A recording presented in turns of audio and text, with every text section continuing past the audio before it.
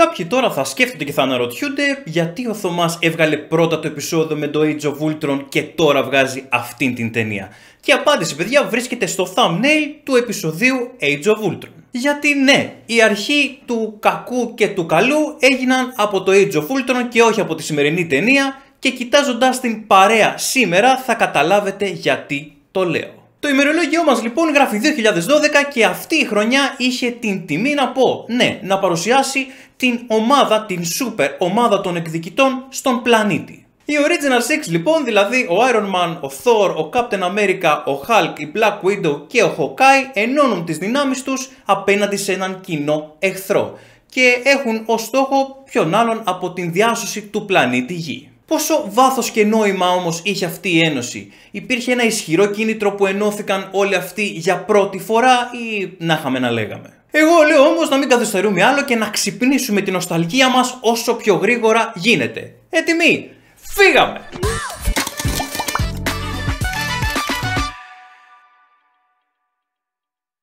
Να προειδοποιήσω όπως πάντα πως τα βίντεο καλή ή κακή περιέχουν πολλά spoilers για τις ταινίες τις οποίες πραγματεύονται και επίσης αν σου αρέσει το υλικό που βλέπεις σε αυτό το κανάλι μην ξεχνάς να το δείχνεις πατώντας το κουμπί του like. Αυτά και προχωράμε. The Tesseract has awakened. It is on a little world, a human world. But our ally knows its workings as they never will. He is ready to lead the universe yours. Λοιπόν, η ταινία με το καλημέρα δεν μας τα λέει καλά αφού ξεκινάει με exposition. Μικρό μεν, αλλά exposition δε. Για να δούμε όμως αν η συνέχεια θα είναι καλύτερη. Talk to me, doctor. The Tesseract is misbehaving. Ναι, άσε. Δεν φτάνει που συνέχεια κάνει μπάπα μπούπα, κάνει λάμψεις, μας κόβει και το ρεύμα. Τις προάλλες μου και τη μάνα. Άσε σου λέω, παρεκτρέπεται. There's any tampering, sir. Wasn't this end? Yeah, the cube is a doorway to the other end of space, right? Doors open from both sides. Ωραία η φιλοσοφία σου, Ρεχοκάη, δεν λέω, αλλά μια πύλη με δύο πλευρές, για να έχει δύο πλευρές, πρέπει πρώτα να ανοίξει. Αυτή η συγκεκριμένη είναι κλειστή. Άσε που το τεσσεράκτιο το έχεις εσύ μπροστά σου. Άρα η άλλη πλευρά πώς να ανοίξει την πύλη;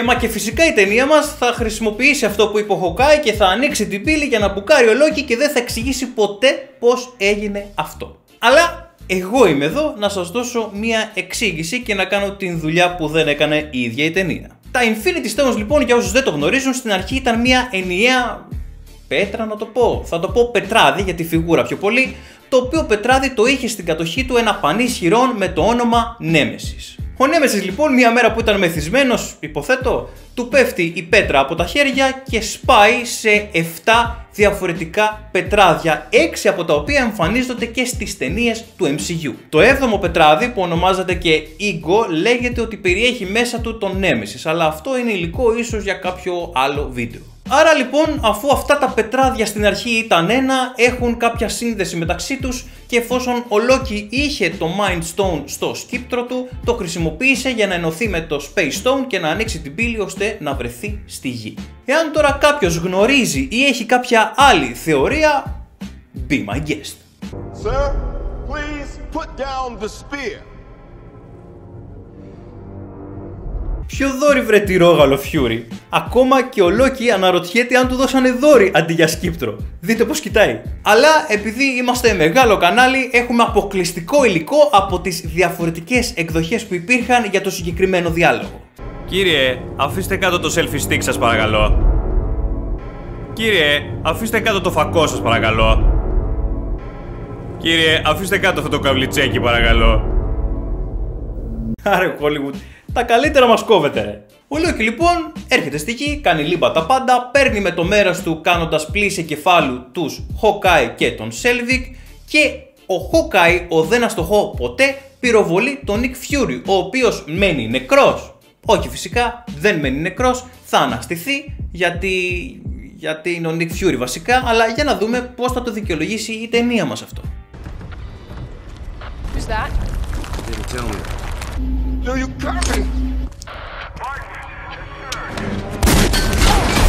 Και εδώ παιδιά ήρθε η ώρα να γνωρίσουμε την πράκτορα Χιλ, ίσως την πιο ασήμαντη χαρακτήρα σε όλο το MCU. Εύκολα λεφτά για την τύπισσα, ok, okay, ήθελαν απλά να προσθέσουν μία ακόμη όμορφη στις ταινίες. Δεν μας καλέ μας, μας κάνει.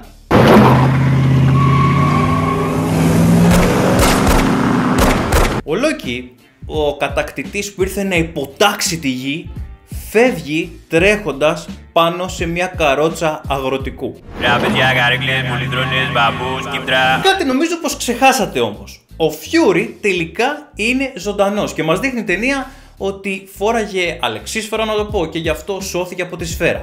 Άρα αυτό σημαίνει ότι ο Hawkeye, ο τύπος που πετυχαίνει κουνούπι από 10 χιλιόμετρα, δεν πέτυχε, μάλλον δεν σημάδεψε, δεν σκέφτηκε καν να πυροβολήσει τον Nick Fury στο κεφάλι για να έχει γίνει σίγουρα η δουλειά, αλλά τον πυροβόλησε στο σώμα του.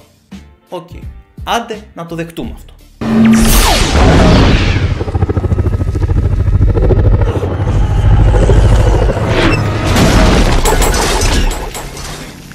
Ε, όχι, όχι, φτάνει. Και μετά μας λένε ότι ο Θόρ είναι αθάνατος.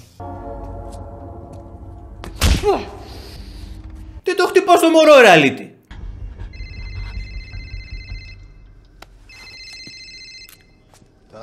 Το τσιράκι του Ρώσου, στρατηγού, παύλα μαφιόζου, παύλα δολοφόνου τέλος πάντων, σηκώνει το τηλέφωνό του εν μέσω ανάκρισης. Εδώ δεν κοτάς να σηκώσει το τηλέφωνό σου όταν δουλεύεις σε μια μέση επιχείρηση. Δεν πιστεύω πως θα το σήκωνες εάν είχες για αφεντικό έναν Ρώσο στρατηγό δολοφόνο. We have an F-22 exactly 8 miles out. Put the woman on the phone or I will blow up the block before you can make the lobby. Του τύπου του λένε ότι υπάρχει ένα μαχητικό στα 12 χιλιόμετρα και αυτός κοιτάει το ταβάνι. Τώρα δικαιολογείται γιατί το τσιράκι του σήκωσε το τηλέφωνο.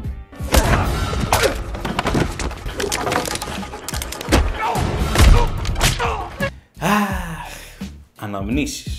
Η Ρόμανοφ λοιπόν θα προσπαθήσει να κάνει recruit τον Bruce Banner ή αλλιώς τον Hulk ο πράκτορας Κόλσον τον Σταρκ και ο Φιούρι, όντας το αφεντικό της υπόθεσης, θα κάνει αυτό που κάνουν τα αφεντικά, δηλαδή την πιο εύκολη δουλειά. Αφού απλά θα πάει και θα ενημερώσει τον Captain America πως τον χρειάζονται για κάτι. Α, ναι, και κάνει και αυτό.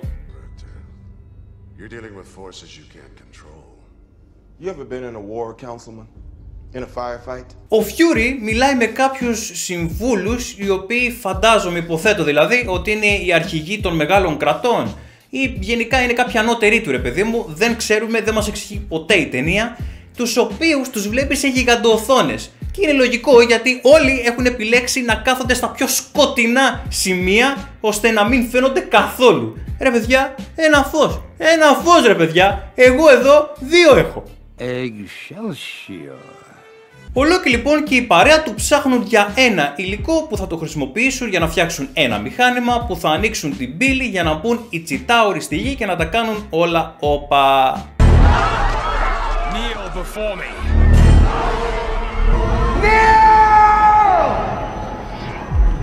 Is not this simpler?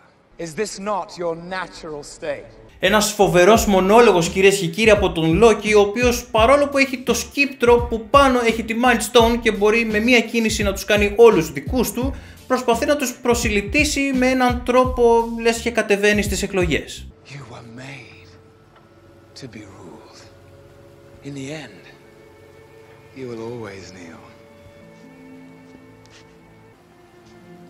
Not to men like you.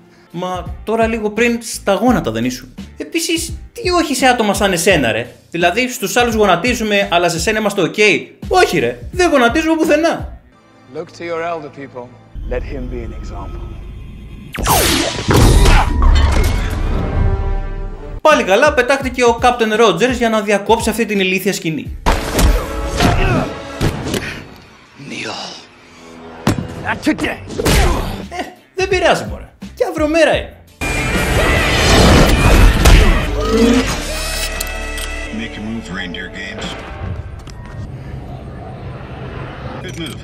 Από εδώ και πέρα στην ταινία τίθεται το θέμα γιατί ο Λόκι παραδόθηκε τόσο εύκολα και κανείς από αυτούς δεν σκέφτηκε ότι μπορεί να το έκανε για αντιπερισπασμό. Είναι εκεί μαζεμένοι. Πράκτορες, επιστήμονες, θεοί, σούπερ ήρωες και κανένας από όλους αυτούς δεν σκέφτηκε ότι ο Λόκι ήθελε να τον πιάσουν για να κάνει κάποια άλλη δουλειά. Αυτό το πράγμα, εάν υπήρχε σχολή πρακτόρων, που φαντάζομαι θα υπάρχει, θα πρέπει να ήταν στο πρώτο εξάμηνο. Μάλλον στην πρώτη εβδομάδα. Τα facts είναι ξεκάθαρα. Από την αρχή της ταινίας ο Λόκι προσηλύτισε δύο άτομα. Τον Hawkeye που είναι ένας πολύ ικανός στρατιώτης που μπορεί να χωθεί παντού και ξέρει κιόλας μυστικά από την SHIELD και τον Σέλβικ, έναν επιστήμονα. Που τι τον θέλει έναν επιστήμονα, τον θέλει να του φτιάξει μια μηχανή για να κάνει τη δουλειά του. Οπότε, πού είναι το δύσκολο δηλαδή;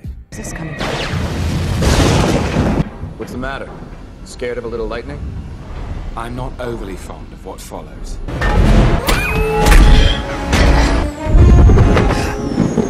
Αεροπειρατεία ο Θόρ.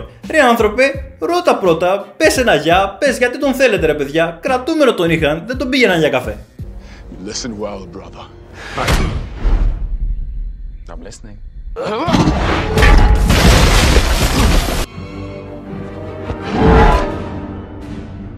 Τα βλέπετε. Ο τύπος δεν κάνει καν κίνηση να διαφύγει ενώ τον άφησαν μόνο του.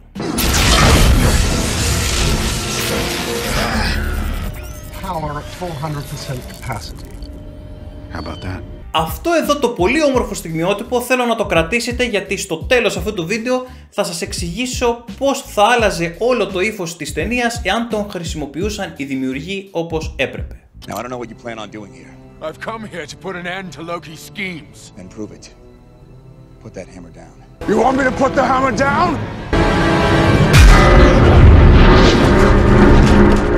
Τι όμορφο στιγμιότυπο είναι αυτό ρε παιδιά.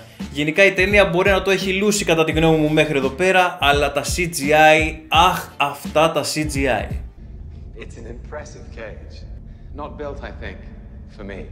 built for something a lot stronger than you. Oh, I've heard. A mindless beast. Makes play he's still a man. Να το, είναι ολοφάνερο. Πάει να του πει για το κλουβί και ο Λόκι ξέρει από πριν πως το κλουβί αυτό προοριζόταν για το Hulk. Άρα να το σχέδιο που θέλει να κάνει. Γιατί χρειάζεται μετά να του στείλει στην Ρόμανοφ να παίξει όλο αυτό το θέατρο για να μάθει πως θέλει να χρησιμοποιήσει τον Hulk προς όφελός του. I've care how you speak. Loki is beyond reason, but he is of Asgard, and he is my brother. He killed 80 people in two days. He's adopted. Το καλύτερο πράγμα παιδιά σε αυτή την ταινία είναι το χιούμορ της. Έχει ατακάρες μέσα, ό,τι ατάκα και να πούνε είναι μία και μία. He really grows on you, doesn't he? Loki's gonna drag this out. Άντε μπράβο ρε Καπ. Ο Θόρ μόλις τώρα αποκάλυψε όλο το σχέδιο του Λόκι. Όμως ο Σταρκ δεν θα ασχοληθεί με αυτό. Θα ασχοληθεί με το ότι γιατί ο Νικ Φιούρι δεν τον κάλεσε για το τεσσεράκτιο και όχι μόνο θα ασχοληθεί με αυτό, θα προσπαθήσει να επηρεάσει και όλους τους άλλους. Ρε, εδώ μιλάμε για εξωγήινη εισβολή και την υποδούλωση ολόκληρης της γης. Σοβαρευτείτε. You're a monster. Oh no. You brought the monster. So, Banner. Loki means to unleash the Hulk, keep Banner in the Ωραία. Άρα κατεβάστε τον Banner από το cruiser και όλα καλά. I'd like to know why S.H.I.E.L.D. is using the Tesseract to build weapons of mass destruction. Because of him. Me. Last year, Earth had a visitor from another planet who had a grudge match that leveled a small town. Εγώ δεν μπορώ να καταλάβω ρε παιδιά που ακριβώς εδώ είναι το θέμα. Ο Nick Fury τους εξηγεί πολύ ορθά πως όλα αυτά τα πειράματα με το τεσσεράκτιο τα έκαναν για να αντιμετωπίσουν μια ενδεχόμενη εξωγήινη εισβολή σαν αυτή που έγινε στο Thor. Άσχετα εάν αυτά τα πειράματα τα έκανε κρυφά και άσχετα εάν με αυτά τα πειράματα ενεργοποιήθηκε το τεσσεράκτιο και στην ουσία κάλεσε τους άλλους εξωγήινους πολιτισμούς. Παρ' όλα αυτά η κουβέντα μετατρέπεται σε τσακωμό, ο Hawkeye σκάει μύτη με ένα Quinjet που η ταινία δεν μας εξηγεί ποτέ πού και πώς το βρήκε και οι ήρωές μας από εκεί που τσακωνόντουσαν και πετάγανε πολύ σκληρά υπονοούμενα ο ένας τον άλλον ξαφνικά γίνονται οι καλύτεροι συνεργάτες. Όμως επειδή κανένας δεν κατέβασε τον banner από το cruiser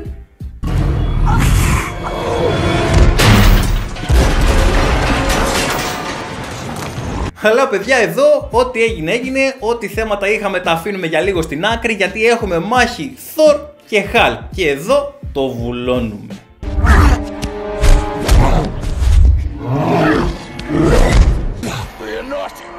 We're not your enemies, Banner. Try to think. How about a little of this?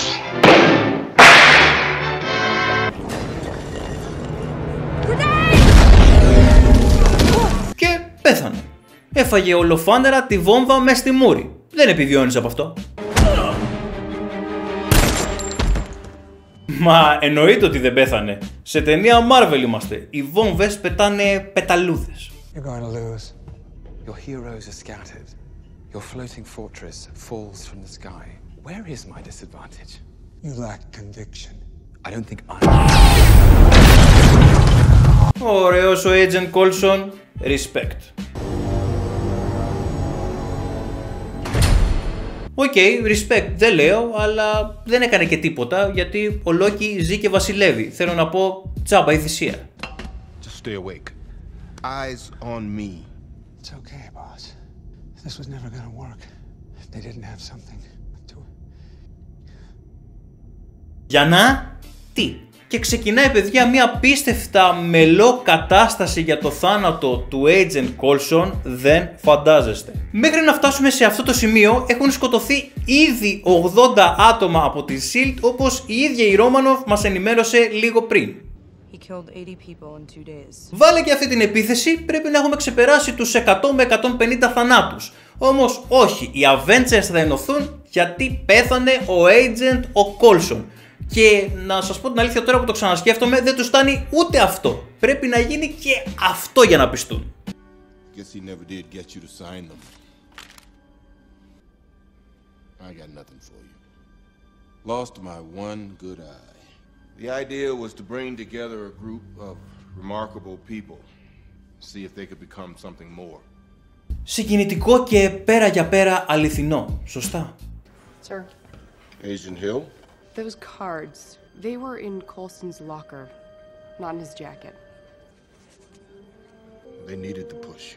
Ρούφα σου λέει η ταινία. Ούτε καν αληθινή δεν ήταν η ιστορία με τις κάρτες. Γιατί οι Avengers μπορεί όπως προείπαμε να έχουν πεθάνει τόσα άτομα, μπορεί να έχουν ως κίνητρο την υποδούλωση του πλανήτη, όμως θα τους ενώσει ο θάνατος του Coulson και η ψευτοϊστορία του Nick Fury. Μπράβο ταινία. Και μετά μου λέτε ότι το Age of Ultron είναι η χειρότερη ταινία Avengers. Όχι παιδιά, δεν συμφωνώ.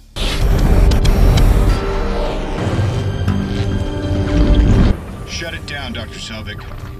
Ακούστε όμως τώρα εδώ ηρωνία. Ο Stark λίγο πριν κατηγορούσε τον Nick Fury πως με τα πειράματά του στο τεσσεράκτιο έφερε στην ουσία τους εξωγήινους στη γη. Ενώ βλέπουμε πως ο Loki τώρα χρησιμοποιεί τον πύργο που αυτός έφτιαξε για να κάνει πραγματικότητα το σχέδιό του. Ηρωνία. Please tell me you're going to appeal to my humanity. Uh, actually, I'm planning to threaten you. Όμως αυτός εδώ ο διάλογος μεταξύ Loki και Stark νομίζω πως έρχεται λίγο να ισορροπήσει τα πράγματα αφού είναι εκπληκτικός. What have I to fear? The Avengers. Earth's mightiest heroes type thing. Yes, I've met them.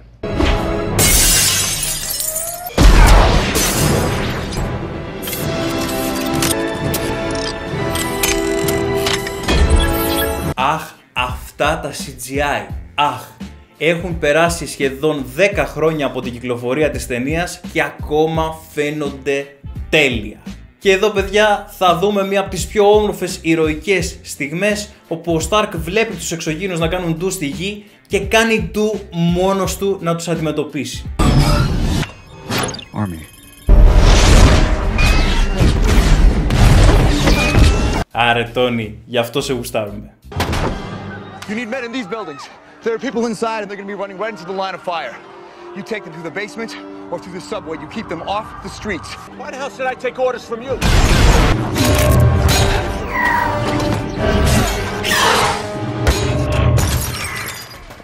I need men in those buildings. Ε, ναι. Και εγώ λέω να τον ακούσεις καλύτερα.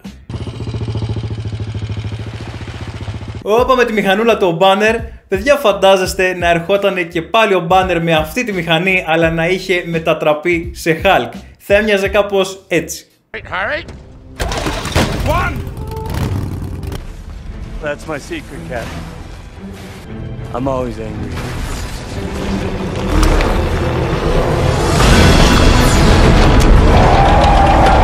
Ναι, ναι, Ε, και νομίζω πως μετά από όλα αυτά ήρθε η ώρα για το ιστορικότατο 360 πλάνο.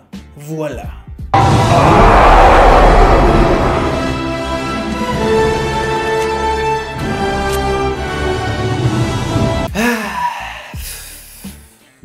Όσες φορές και να το δω, And Hulk. Smash.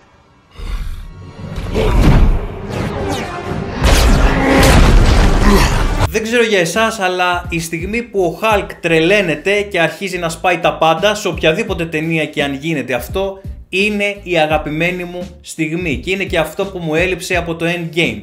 Αλλά εδώ θέλω να πω πως ενώ ο Hulk λίγο πριν όταν μετατρεπόταν σε Hulk ήταν ανεξέλεγκτος και βάραγε ό,τι βρισκόταν μπροστά του, ξαφνικά εδώ δείχνει ότι έχει συνέστηση των πράξεών του και δεν νομίζω πως το εξηγεί κάπου η ταινία αυτό.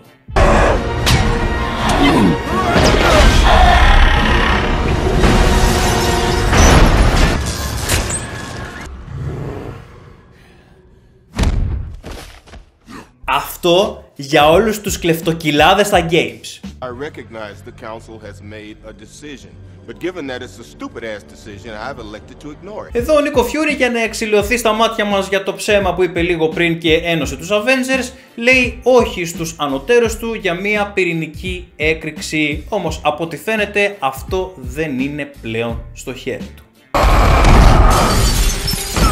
Enough! You are all of you beneath me. I am a god, you dull creature, and I will not be bullied by that.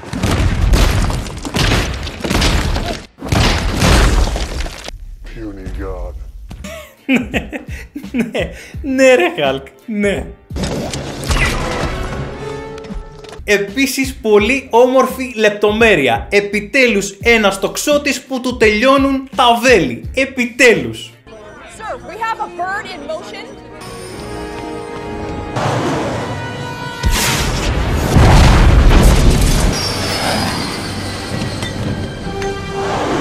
Τι να του κάνεις με το πιστολάκι του μαχητικού ρε Fury. Μετά άμα δεν πετύχαινε και το πιστολάκι θα έβγαζε μια σφεντόνα και μετά ένα νεροπίστολο. Stark, you hear me? You have a missile headed straight for the city. Jarvis, put everything we got into the thrusters. I just Λοιπόν, εδώ θέλω την προσοχή σας γιατί είναι η στιγμή που σας είπα στην αρχή του βίντεο πως θα μπορούσαν να έχουν χρησιμοποιήσει οι δημιουργοί για να αλλάξουν το ύφος της ταινίας. Ο Stark λοιπόν δεν έχει άλλη ενέργεια στη στολή του και την τελευταία που του έχει απομείνει την χρησιμοποιεί για να πάρει τον πύραυλο με την πυρηνική βόμβα και να τη στείλει στο διάστημα ώστε να σώσει τον πλανήτη. Πολύ όμορφη στιγμή, δείχνει και το ποιόν του Stark, αλλά η ταινία κάπου στην αρχή της μας σέταρε ότι ο κεραυνός του Thor όταν τον πέταξε πάνω στον Iron Man τον φόρτωσε 400% πάνω από το κανονικό.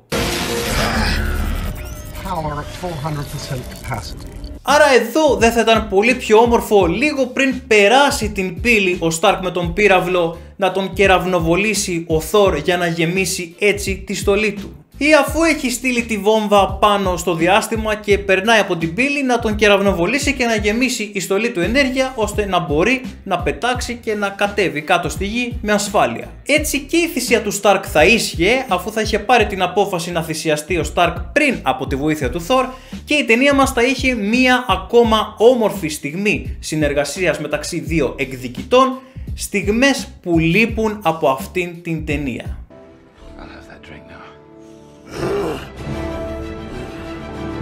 Και αυτή παιδιά ήταν η πρώτη ταινία των εκδικητών. Μια ταινία σταθμός, μια ιστορική πλέον ταινία, αλλά παιδιά συγγνώμη κατά τη γνώμη μου είναι η χειρότερη ταινία των εκδικητών. Δεν λέω ότι είναι κακή ταινία, προς Θεού είναι πολύ καλή και πολύ διασκεδαστική ταινία, αλλά είναι η χειρότερη, κατά τη γνώμη μου. Η δική σας; Εγώ ήμουν ο Θωμάς. Εάν θέλεις να μαθαίνεις τα κινηματογραφικά νέα, να βλέπεις περισσότερο υλικό από εμένα αλλά και backstage υλικό από τα βίντεος που ανεβαίνουν εδώ στο YouTube, ακολούθησέ με στο Instagram. Σε ευχαριστώ πάρα πολύ που έμεινες ως το τέλος αυτού του βίντεο. Εάν σου άρεσε, ξέρεις τι να κάνεις και για να μην χάσει τα επόμενα, πάτησε το κουμπί της εγγραφής. Μέχρι το επόμενο βίντεο να περνάτε όλοι όμορφα.